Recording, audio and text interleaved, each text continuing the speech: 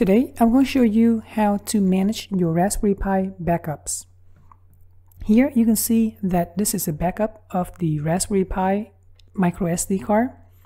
The file size is huge. It's about 15 gigabytes. That's a lot. Now, as you know, the micro SD cards are getting bigger and bigger and bigger. So right now you can get 64 gigabytes for about 10 bucks. That's dirt cheap.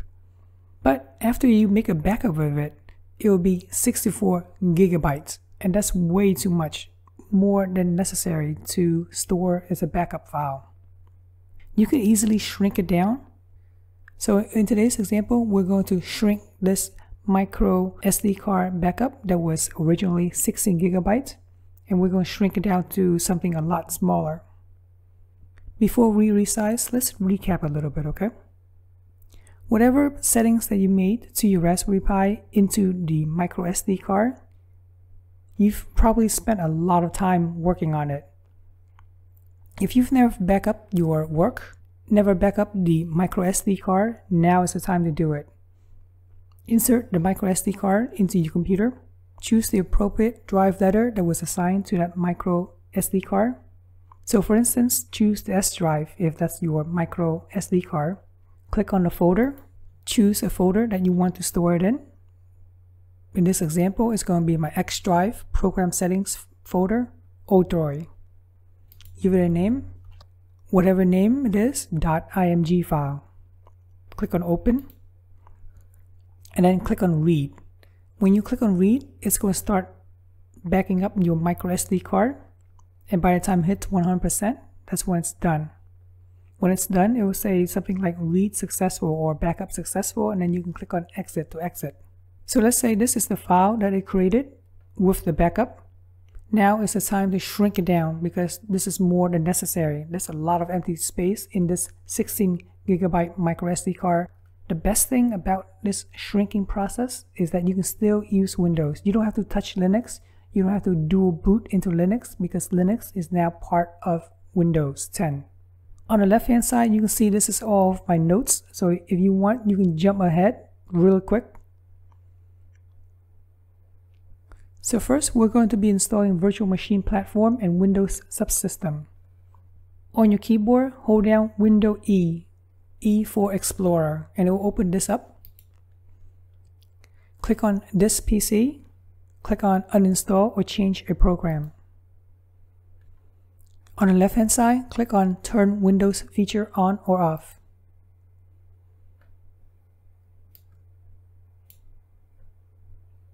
Now make sure that virtual machine platform is checked right here. I did already. Make sure that this is checked as well, Windows subsystem for Linux.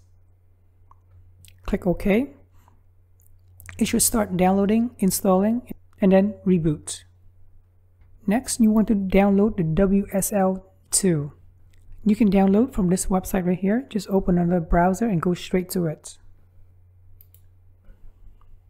Scroll down a little bit and go to step number four. Download the latest package, WSL2. It will start downloading the MSL file. As you can see, I already downloaded it. After you download it, install it. If it asks you to reboot, go ahead and reboot as well. Now click on the Start menu and open the Microsoft Store. S-T-O-R, search for Ubuntu and choose Ubuntu 22.04.1 LTS. Click on Install or Setup. I already have mine installed, so that's why you only see the Open option. When you run it for the first time, it's going to ask you to create a username and password. Oh, I forgot to mention, we need one more app, and this is the Windows Terminal. Install it and then click on it to open it. Verify that you're using the right version of WSL. Copy and paste this in. So you can see them using WSL version 2. That's good. We need to download a script. You can copy this here and then paste it in your browser. When you go straight to the website, click on raw, click on Control S to save it. You can save it wherever you want, but I'm going to save it into my folder that we're going to work on right now. Alright, now that we have everything ready installed, we can finally resize the micro SD card backup. Click on this arrow, go to Ubuntu. It's loading up Ubuntu and now we're in. Let's jump to this Odroid folder or whatever folder that you want to jump to.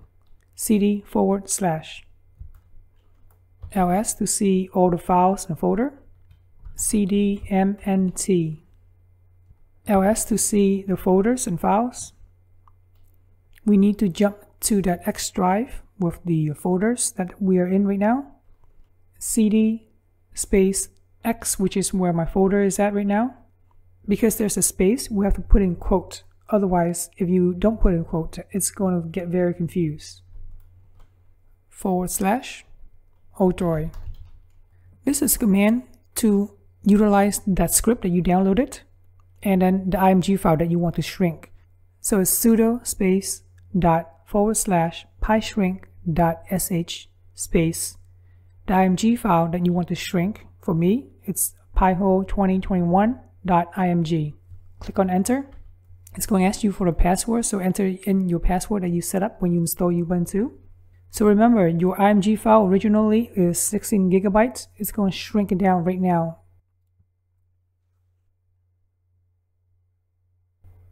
And there you go, it's done.